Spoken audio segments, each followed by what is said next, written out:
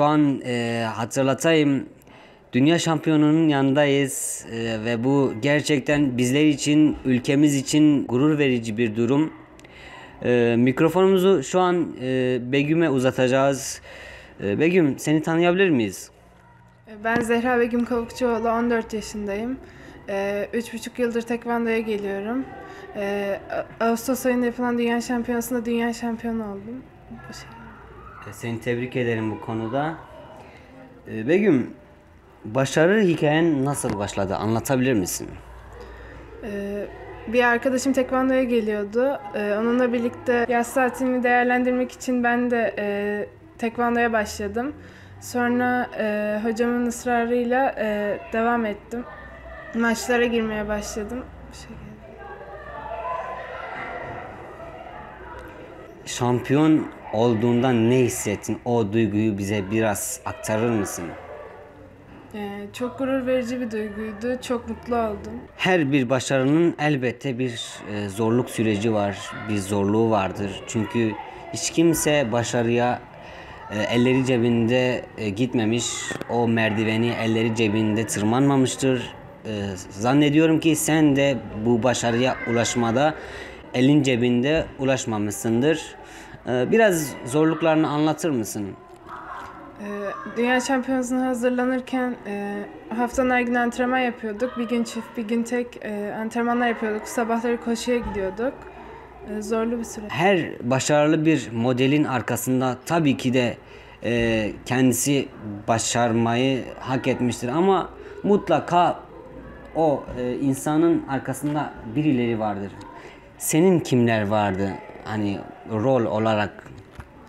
E, en büyük destekçim hocamdı. Sonra ailem. Sana gerek e, antrenmanlar arasında gerek maç e, sırasında desteklerini vererek e, en büyük destekçinin hocanın ve ailenin olduğunu söylemektesin. Peki Begüm sen başarıyı tutmuş biri olarak e, bunu biliyorsundur. Ben sana sormak istiyorum. Sence başarmanın sırrı nedir?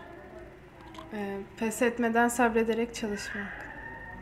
Yani gördüğünüz gibi arkadaşlar e, başarmanın sırrı sabır etmek ve azimle çalışmaktır. Elbette ki bizim gibi sizin gibi arkadaşlarınız olacaktır. Mesela sizin kat ettiğiniz başarıyı kazanmak için bu yolda çabalayan arkadaşlarımız vardır.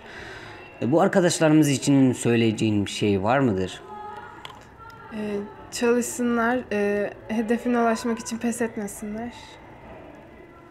Bu kadar. Düşünsenize kameralar karşısındasınız, e, basın mensupları ve tüm insanlar sizleri izlemekte. Böylece insan gururlanıyor. O anı biraz anlatır mısın? Hani tamam şampiyon oldun ve tüm insanlar karşında neler hissettin? Yani biraz detaylı anlatır mısın? Ee, yani maç bitti. Bayrakla koşmak çok güzel bir duyguydu. Ee, çok mutlu oldum. Yani çok değişik bir duygu. Anneniz o vakit yanınızda mıydı? Peki anneniz o vakit yanınızda olsaydı kendisine neler söylemek isterdiniz? Yani beni destekledikleri için e, yani teşekkür ederim. Ee, Evet değerli izleyenler, e, değerli Begüm kardeşimizle e, düşüncelerini aldık. Bundan dolayı kendisine şükranlarımızı sunuyoruz. Şu an e, annemiz de burada kendisiyle birazdan konuşacağız. Mikrofonu kendisine uzatacağız. Kendisinin de görüşlerini alacağız.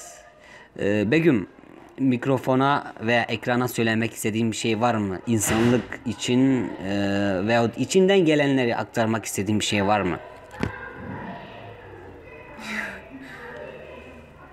Sanırım sizinle biraz daha rahat konuşabilirim. Evet, şampiyonun annesi olarak e, yanınızdasınız.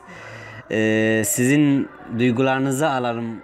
E, kızınız e, zoru başardı. Gerçekten zoru başardı. Ve bu süreç kolay kolay gerçekleşmedi. Ee, kızınızın başarı sürecinde bizlere o süreci anlatır mısınız? Yani ne zorluklar yaşadınız, neler hissettiniz? E, yani antrenmanları e, hemen hemen her gün vardı. Bir gün bir çift, bir gün çift, bir gün tek olarak devam etti. Tabii zorlu bir süreçti. Ben de elimden geldiği kadar yanında olmaya çalıştım. Desteklerimi esirgemedim. Yani hala da o istediği sürece arkasındayım. Begüm'ün şampiyon olduğu vakitte evde miydiniz? Evdeydim, canlı olarak izledim. Canlı olarak izlediniz. İnternet üzerinden. İnternet üzerinde. Ekranın başındayken şampiyon olduğu vakit neler hissettiniz? Sizin o duygunuzu alabilir miyiz? Ağladım. Güzel bir duyguydu. Yani Allah herkese nasip etsin.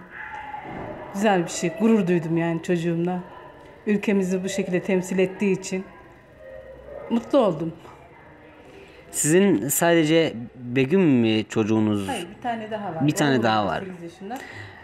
Ee, o yani ilgi alanı nasıl? Kendisinin ilgi alanı ablasınınki gibi mi? Ee, onu da buraya yönlendirdim ama onun pek şeyi yok futbolla ilgileniyor. Ben mm, devam etmesini istiyorum, bekliyorum da biraz daha büyüyünce belki tekrar devam eder diye.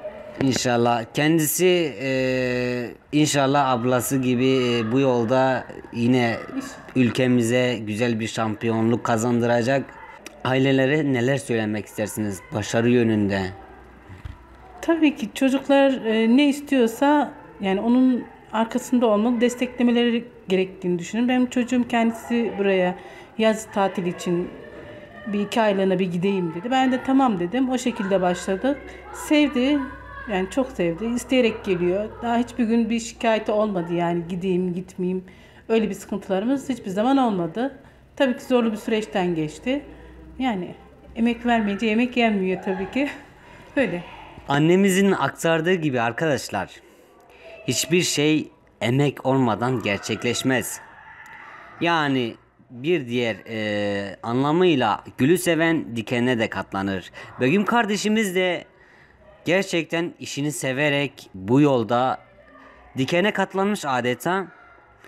Dikene katlandığı için bu yolda mücadele etmiş ve mücadele ettiği için de e, bu başarıya ulaşmış durumda. Gerçekten ben o kadar insanın başarı hikayesini dinledim. Begüm kardeşimizin bu başarı hikayesini e, ilk defa Kastamonu'da rastladım. E, ben çok mutlu oldum. Ben bir şey daha demek istiyorum. Tabii buyurun. Biz buraya ilk geldiğimizde Begüm çok naif bir çocuktu. Evet. Ee, hatta hocamıza da dedim yani dedim e, hani e, şey nazik bir çocuk dedim bir çiziye bir hafta krem sürdüren bir çocuk dedim. Hocamız bize yani çocuğa da inandı. Hayallerinin olduğunu söyledi. Hocam böyle söylediği zaman ben yani hocamıza inandım. Ya bu şekilde çocuk da istedi. Hocamız da bizi yönlendirdi. Yani hocamızın sayesine buralara geldik yani. Bize yol gösterdi. Tabii tabii yani bir başarının arkasından mutlaka birileri vardır. Tabii ki. Birileri değil, aile oluyor, antrenör oluyor. Tabii ki o şekilde gidiyor. Sporcu tek başına bir yere gelemiyor. Yani gelemez. Bu bir gerçek. Ailelerin genellikle çocukları üzerinde baskıları şu yönde oluyor. Doktor olacaksın, mühendis olacaksın, öğretmen olacaksın. Ama bu yönde e, çocuklara fazla baskı yapmamak gerekir. Çocukların sevdiği alanda, sevdiği yönde onlara meslek konusunda yardımcı olmak gerekiyor. Sizler bu konuda neler söylemek istersiniz? Özellikle e, böyle tavır takınan ailelere karşı. Yani e, şöyle bir gerçek var. Herkes bir öğretmen olamaz. Herkes bir doktor olamaz. Her türlü mesleğe ihtiyaç var. Yani çocuk kişi ne istiyorsa ona yönlendirilmeli. Çünkü severek yapacaktır mutlaka. Ben öyle düşünüyorum. Yani zorlamamak gerekiyor. Ne istiyorsa arkasından destek vermek gerekiyor. Benim düşüncem öyle. Mikrofonumuza ses oldukları için Berfin Hanım'a çok teşekkür ediyorum. Bizleri kırmadıkları için, mikrofonumuza konuştukları için. Ee, şimdi değerli hocamızla konuşacağız. Kendisinden birkaç kelam alacağız. Ve böylece programımızı sonlandıracağız arkadaşlar. Ee, size çok teşekkür ediyorum. Kendinize çok iyi bakın. olun, teşekkür- Evet hocam nasılsınız? Merhaba, hoş geldiniz. Teşekkür ederim. Siz nasılsınız? İyiyim. Allah Sizleri birazcık tanıyabilir miyiz? Evet, ben Numan Haçat, e, Kastamonluyum. 1990 yılından bu yana e, tekvando sporun içerisindeyim. E, 15 yılda bilfiil antrenörlük yapıyorum. Şu ana kadar da yaklaşık 6000'in üzerinde öğrenci yetiştirdim. Hocam öncelikle e, sizin destekleriniz e, bu yönde e, ağırlıkta olmuştur. E, mesela bu yönde çalışan öğrencilere veyahut hedefleri bu yönde olan öğrencilere karşı onlara yönelik neler söylemek istersiniz? Evet, e, tekvando zor bir spor. E, olimpik e, branş olması sebebiyle Türkiye'de ve dünyada çok ilgi gören bir spor. Ben e, aslında e, sadece tekvando olarak değil, bütün branşlarda e, her ne branş olursa olsun çocukların mutlaka sporun içerisinde olmalarını öneriyorum. Spor hem zeka gelişimi hem karakter gelişimi ee, hem de boş zamanın değerlendirme faaliyeti açısından, zihinsel açıdan, be- bedensel açıdan e, çocukların ve gençlerin olmazsa olmazı. Hatta 7'den 77'ye. Bu kültür haline gelmeli. En önemli e, üzerinde durduğumuz husus bu. Ve bu konuda biz tekvando branşı olduğu, olduğu için branşımız 7'den 70'e herkese e, sporla ilgili e, duyurular yapmaya çalışıyoruz. Onları sevdirmeye çalışıyoruz. Onları bir arada tutmaya çalışıyoruz. Bu anlamda da hala e, bu konudaki misyonumuz devam ediyor. Peki hocam size kendimin sormak istediği bir soruyu sormak istiyorum. Ee, tekvando yani vücuda ne gibi e, faydalı şeyleri oluyor? Şöyle toparlayayım. Tekvando'nun e, katkısı olarak vücudu uzatıyor mu? Evet, tekvando boy uzamasında sürekli sıçrama e, olduğu için, sıçrama teknikleri olduğu için boyun uzamasında ciddi katkısı olan bir spor. Kızımız da e, şu an 1.83 boyunda, henüz 14 yaşında. 1.75'ti tekvandoya başladığında yani neye tekabül ediyor? 8 santim yaklaşık 8 santim uzamış. 3 yıl içerisinde bu da e, bu e, tezimizi e, doğruluyor. Yani boyunu uzatıyor, e, bedensel gelişimini ciddi anlamda e, çocuğun vücut şeklini, e, her bir şeyini e, katkı sağlıyor. Her bir şeyine katkı sağlıyor. Anladım hocam. Ee, peki başarılı olmanın sırrı size sorayım. Nedir? Evet, çok güzel bir soru. Başarılı olmanın sırrı önce yapmaya karar vermek. Neyi yapmaya karar vermek? Ben spor yapacağım. Ne yapacağım? Ben tekvando yapacağım veya kickbox yapacağım veya futbol oynayacağım. Önce buna karar vermek. Daha sonra en büyük sırrı da sabır.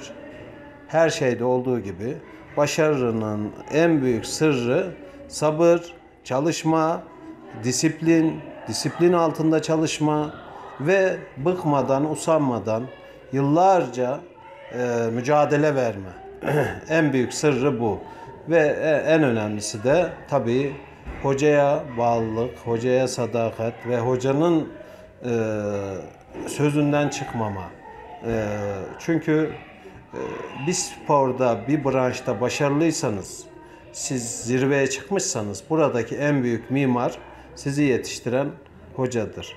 Yani yetenek bir noktaya kadardır ama doğru işlenmezse ne kadar yetenekli olursanız olun e, bu bir şey ifade etmez. Yani başarının en önemli e, sırrı sabır, azim, çalışma ve sadakat. Teşekkür ederim hocam. Ee, duyduğunuz gibi arkadaşlar, başarının birkaç sırrı var. Onları size sıralayayım. Sabır, çalışmak, azim, bir diğer unuttuk galiba ee, sadakat. Bir tane daha vardı. Begüm kardeşimiz söylemişti. Sevmek. Sevmek. Evet. Evet, önemli olan önemli olanlardan biri de sevmek. Yani sevmediğiniz bir işte başarılı olamazsınız. Mutlaka ve mutlaka sevdiğiniz bir yönde, sevdiğiniz bir meslekte veyahut sevdiğiniz bir işte mutlaka çalışmaya bakın. Ee, hocam son olarak bize aktarmak istediğiniz bir şey var mıdır? Evet, e, teşekkür ediyorum. Öncelikle e, e, sporcumuzun ve sporumuzun tanıtımına katkı sağladığınız için e, teşekkür ediyorum. E, spora gelmeye tereddüt eden 7'den 70'e herkese şunu söylemek istiyorum. E, karar verin ve yapın. Asla tereddüt etmeyin. Çünkü ön yargılardır insanı e, yapacağı işlerden uzak tutan. Tekvando ile ilgili ön yargıda işte dövüş, ağzını burnunu kırarlar, şu ne derler, bu ne derler. Böyle bir ön yargı vardır. Buraya geldiği zaman yüzde yüzünün, yüzde doksan demiyorum, yüzde yüzünün bu konuda fikri, e, zikri değişiyor ve sporun spor olduğu kanaatine burada varıyor. Ben tekrar e, teşekkür ediyorum. Bu e, sporumuza ve sporcumuza bir katkıdır. E, inşallah bundan sonra da başarılarımız artarak devam edecektir. Ee, çok teşekkür ediyorum hocam. Ee, arkadaşlar hocamıza bizleri kırmadıkları için yine aynı şekilde annemize bizleri kırmadıkları için e, kendilerine sonsuz şükranlarımızı sunuyoruz. Ee, burada e, eklemek istediklerimiz şu yönde sabredin, çalışın, sevin ve e, azimli olarak yani hırs hiçbir zaman iyi değildir. Hırs başarıya yakın bir süreçte ulaşmak istemektir. Ama azimli olmak sabrederek, süreç atlatarak başarıya ulaşmaktır. Evet değerli izleyenlerimiz. Bizleri izlediğiniz için sizlere çok teşekkür ediyorum. Ee, kanala abone olmayı unutmayın. Beğendiyseniz beğenip e, altta eklemek istediklerinizi, yorum yazmak istediklerinizi yazınız. E, programımızı buradan noktalıyoruz. Hoşça kalın, kendinize iyi bakın.